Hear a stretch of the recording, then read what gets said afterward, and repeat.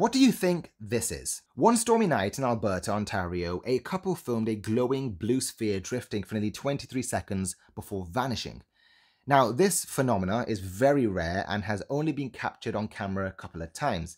It's called ball lightning, and reports of these glowing orbs go back centuries. In fact, the earliest English records come from 1195, where a medieval monk described it as a marvellous sight near London. He went on to describe it as a dense cloud that emitted a white substance that grew into a sphere from which a fiery globe fell over the Thames, moving, spinning unmistakably like a ball. And then much later, in 1638, there was the great thunderstorms of Widecombe. Here, worshippers witnessed an 8 foot fireball smashing through a church, killing four and injuring dozens. It also left behind a sulphurous smelling smoke as well as scorch marks. Now, for years, experts have dismissed ball lightning, calling it hallucinations or some sort of interference with the electromagnetics with our brain. But hallucinations don't leave scorch marks, and hallucinations don't kill four people in a church, let alone the thousands of witness reports that have basically describe the same thing with that sulfurous smell. But what gives these sightings some more merit or confidence was in 2012, researchers on the Tibetan Plateau, so that's where the Himalayas are,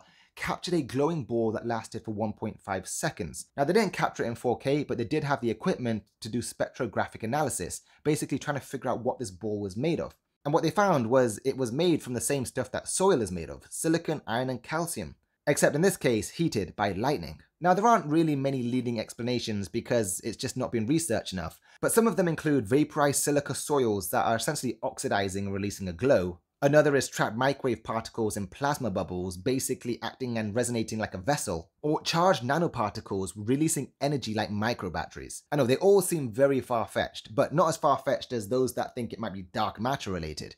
But hey, I'm no physicist, I don't know. I'm just here to give you a really cool story about ball lightning. So the question is, does ball lightning exist? Have you ever seen ball lightning? I've never seen ball lightning, but thousands of people have with countless witness testimony going back centuries. So there must be something to it.